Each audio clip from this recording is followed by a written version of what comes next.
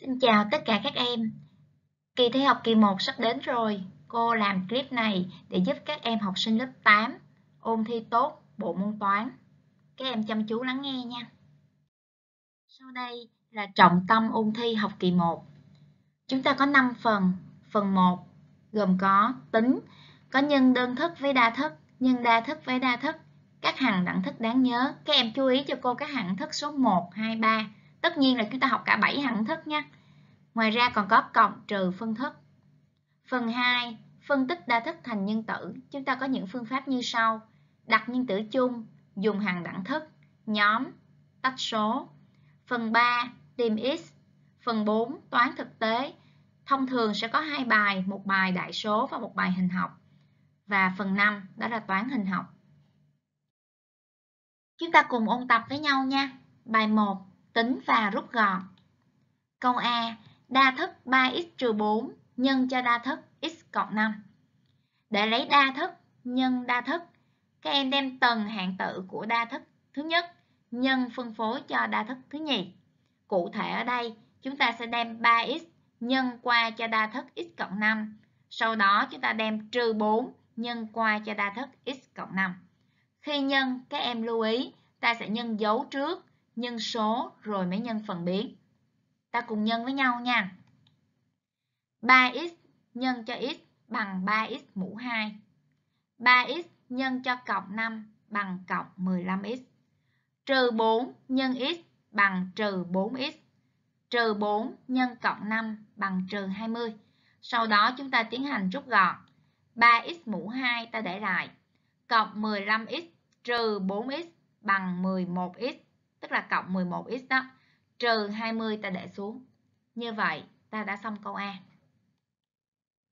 Qua câu B, 4x nhân cho đa thức x trừ 3 cộng cho x trừ 5 tất cả mũ 2. Ở bài B này, các em nhận thấy ta có hai phần. Phần thứ nhất là đơn thức nhân cho đa thức, tức là đơn thức 4x nhân cho đa thức x trừ 3. Và phần thứ nhì là hằng đẳng thức số 2 x 5 tất cả mũ 2. Nhớ nha, khi lấy đơn thức nhân đa thức, ta nhân dấu trước, nhân số, rồi mới nhân phần biến. Như vậy, 4x nhân x bằng 4x mũ 2. 4x nhân trừ 3 bằng trừ 12x. x trừ 5 tất cả mũ 2, đây là hạng thức a trừ b tất cả mũ 2 với a là x, b là 5.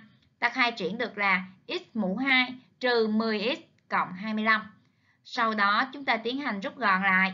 4x mũ 2 cộng cho 1x mũ 2 bằng 5x mũ 2. Trừ 12x trừ 10x bằng trừ 22x cộng 25 ta để xuống. Chúng ta qua câu C.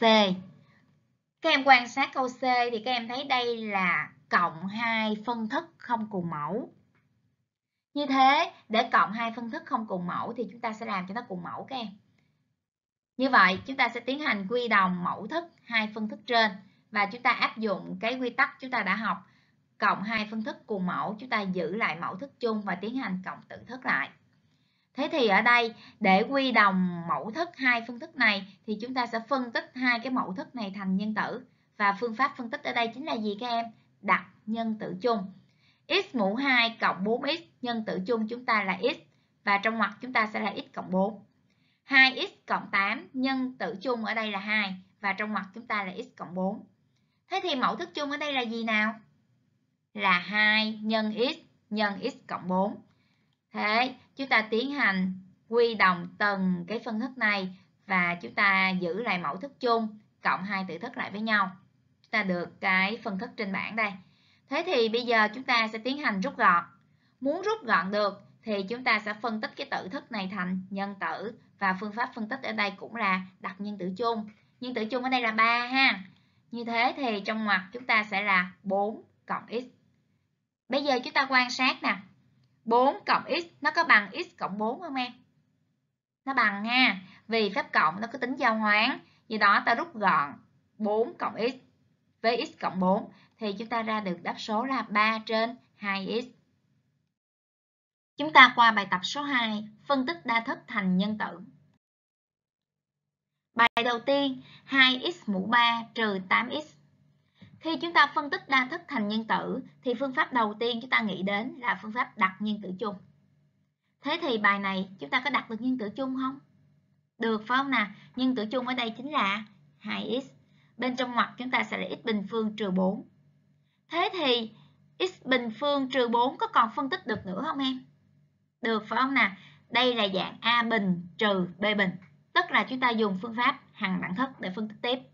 x bình trừ 4 này chính là x trừ 2 nhân x cộng 2. Vậy các em lưu ý nha. Khi chúng ta phân tích đa thức thành nhân tử, ta phải phân tích khi nào không còn phân tích được nữa. Chúng ta qua bài B nào. 16x bình phương trừ 8x cộng 1 trừ 16y bình phương. Ở đây chúng ta có 4 hạng tử tất cả. Thế thì chúng ta thấy rằng là ba cái hạng tử đầu tiên này chính là một hạng đẳng thức ha. Đó là hạng thức số 2 phải không nè? Ta nhóm lại cho vào ngoặc. Và 16x bình trừ 8x cộng 1 nó chính là 4x trừ 1 tất cả mũ 2. Còn 16y bình chính là 4y tất cả mũ 2. Như vậy chúng ta tiếp tục đưa về dạng là A mũ 2 trừ B mũ 2. Thế, ta phân tích ra là 4x trừ 1 trừ 4y. 4x trừ 1 cộng 4y.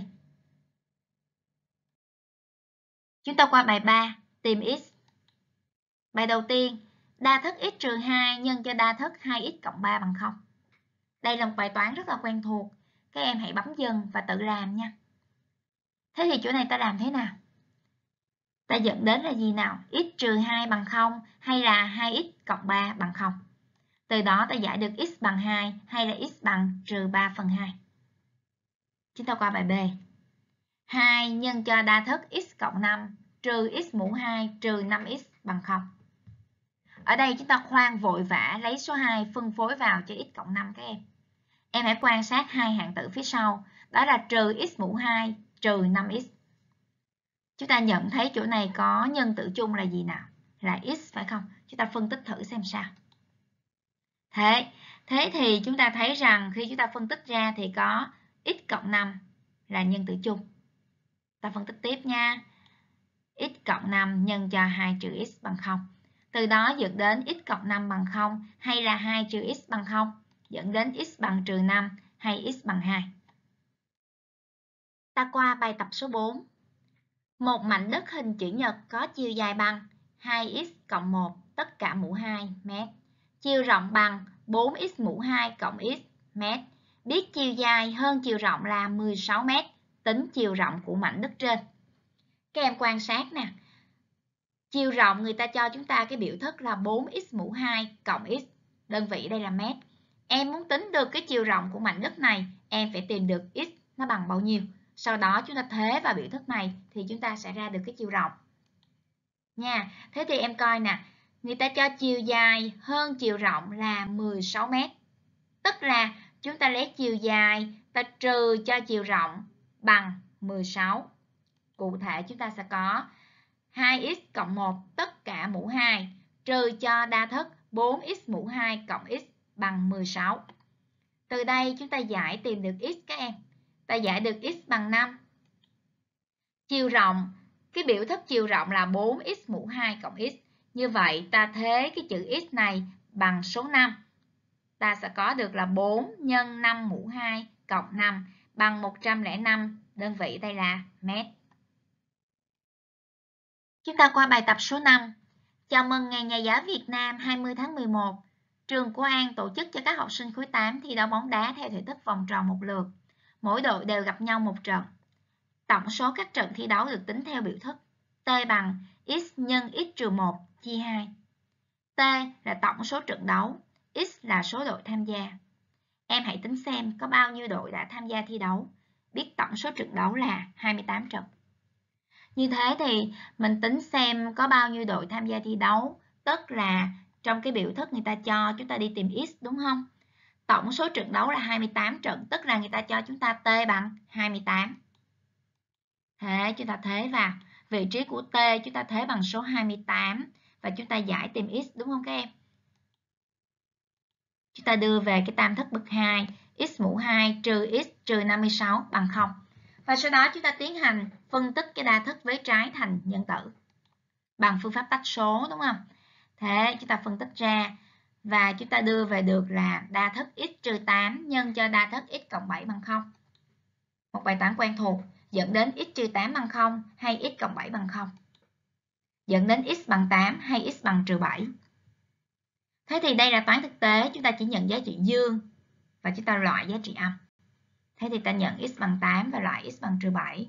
Sau đó chúng ta kết luận rằng là có 8 độ tham gia. Chúng ta qua bài tập số 6. Hình bên là một phần của cái thang bằng gỗ, các bậc thang song song và cách đều nhau.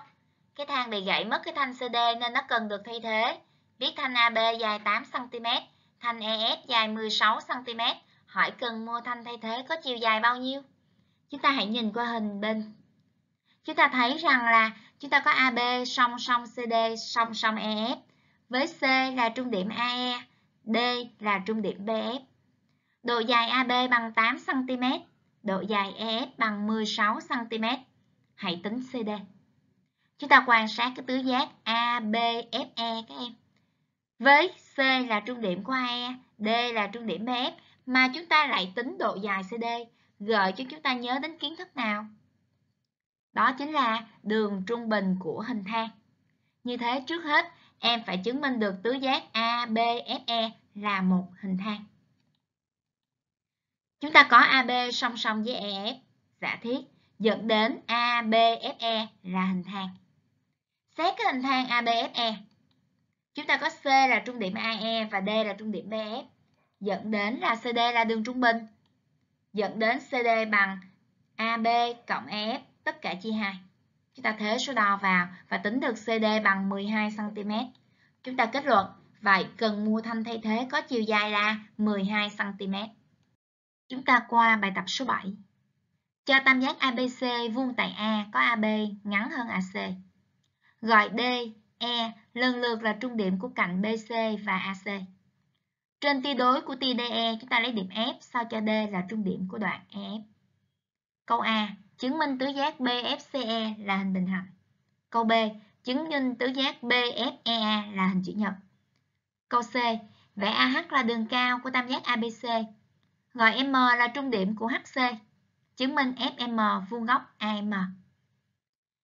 Ở đây cô đã vẽ sẵn hình rồi và các em hãy quan sát cái tứ giác BFCE. Chúng ta sẽ sử dụng dấu hiệu nào để chứng minh tứ giác BFCE là hình bình hành đây? Chúng ta nhận thấy D là trung điểm của mỗi đường chéo đúng không em? D là trung điểm của EF. Đề cho. Và D là trung điểm của cạnh BC. Cũng là đề cho luôn. Như thế, chúng ta đủ điều kiện kết luận tứ giác BFCE là hình bình hành. Xét tứ giác BFCE. Chúng ta có D là trung điểm của EF và D là trung điểm của BC. Dẫn đến tứ giác BFCE là hình bình hành. Tứ giác có hai đường chéo cắt nhau tại trung điểm mỗi đường là hình bình hành. Qua câu B, chứng minh tứ giác BFEA là hình chữ nhật. Chúng ta quan sát tứ giác BFEA. Chúng ta nhận thấy góc A bằng 90 độ do tam giác ABC vuông tại A. Thế thì chúng ta chỉ cần chứng minh thêm tứ giác BFEA là hình bình hành nữa thì sẽ xong phải không nào? Vì hình bình hành có một góc vuông là hình chữ nhật. Vậy thì mấu chốt ở đây phải chứng minh cho được BFEA là hình bình hành. Chúng ta quay trở lại câu A. Câu A chúng ta đã chứng minh được BFCE là hình bình hành rồi. Như vậy thì cái tứ giác này sẽ mang các tính chất của hình bình hành. Đó là những tính chất gì? Các cặp cạnh đối song song và bằng nhau. Các cặp góc đối bằng nhau, đúng không nào? Như thế ở đây chúng ta nhận thấy BF song song và bằng EC. Thế thì 3 điểm AEC thẳng hàng dẫn đến BF song song với AE. Ngoài ra BF bằng với EC.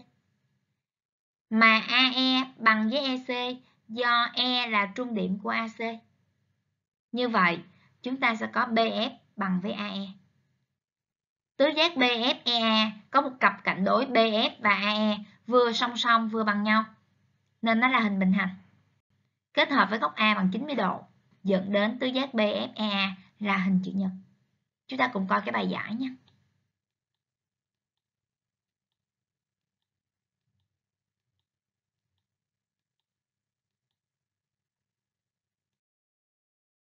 Gọi AH là đường cao của tam giác ABC. M là trung điểm của HC. Chứng minh FM vuông góc AM. FM và AM là hai cái đoạn của vẽ màu đỏ trên hình đây.